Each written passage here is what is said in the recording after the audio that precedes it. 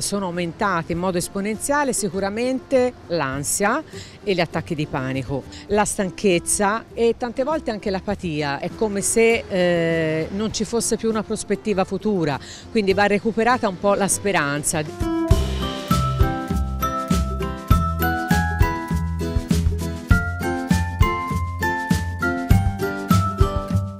Pandemia, dunque distanziamento sociale, DAD, poi arrivano gli echi di una guerra vicina. Queste sono le cause del malessere oppure una causa scatenante di un disagio sopito? Sì, sicuramente un disagio sopito, nel senso che la pandemia e poi successivamente anche questo conflitto chiaramente ha fatto emergere delle fragilità che però già esistevano e questo ha costretto ognuno di noi, chi più e chi meno, perché il disagio poi è sempre soggettivo, a confrontarsi con queste fragilità. Che la scuola italiana si prenda cura anche della psicologia dei suoi bambini e ragazzi è un vero progresso. È una risorsa per i docenti, è una risorsa per i genitori e di riflesso è una risorsa per i bambini e le bambine. Quali sono i malesseri che l'hanno spinta eh, verso lo sportello d'ascolto della scuola. I miei figli hanno iniziato il loro percorso scolastico proprio in concomitanza con l'arrivo del Covid e ci siamo resi conto che sì, eh, c'era bisogno del, de, di un sostegno anche per noi genitori esterno che spiegasse questa situazione che rendesse tutto molto semplice. Non eravamo preparati a raccontare una pandemia, nessuno di noi l'aveva mai vissuta, però l'abbiamo raccontata e l'abbiamo raccontata in modo tale che non diventasse un problema, una paura. Ci sono le regole, le rispettiamo.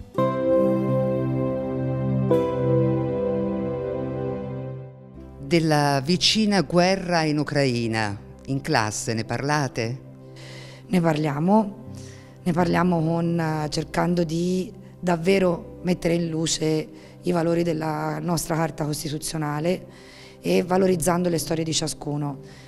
È chiaro che chi soffre di più in questo momento sono i bambini le cui famiglie hanno storie che hanno a che fare con la guerra, ehm, i bambini del Kosovo, i bambini della Moldavia che si sentono tantissimo vicini all'Ucraina e che quindi portano vissuti intensi di storie, di sofferenza, le guerre in ex Jugoslavia e chiaramente la scuola deve essere in grado di accogliere, sostenere e promuovere la pace.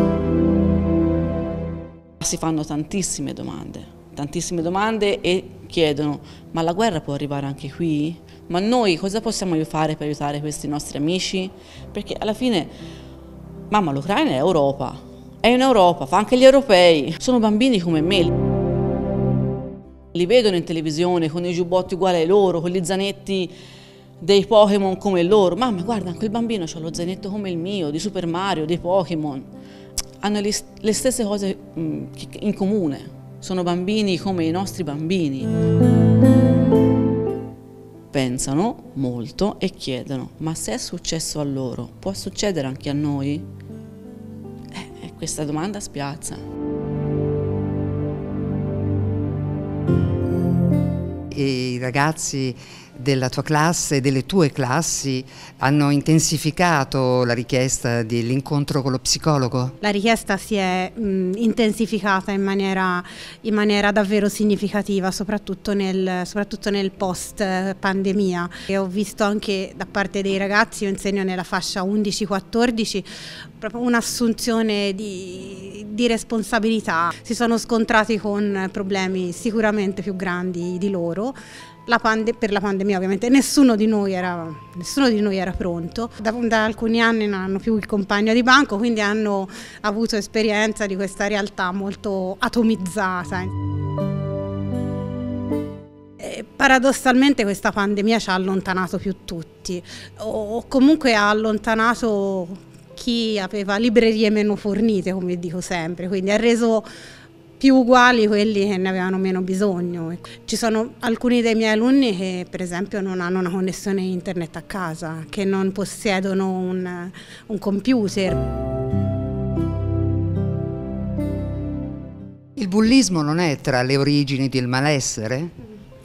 No, credo solo, solo, in parte. Il nostro compito è quello di educare, quindi di, ehm, di portarli a riflettere. Eh, basta educarli alla complessità, secondo me.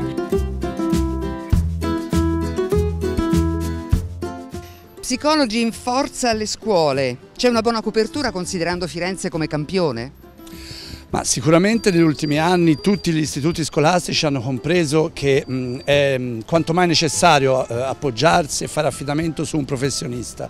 Per cui devo dire che le scuole su Firenze ma anche in provincia eh, negli anni si sono attrezzate eh, attivando contratti di collaborazione che ormai dappertutto appunto sono in essere. Da parte di questi lavoratori ci sono modalità eh, da modificare?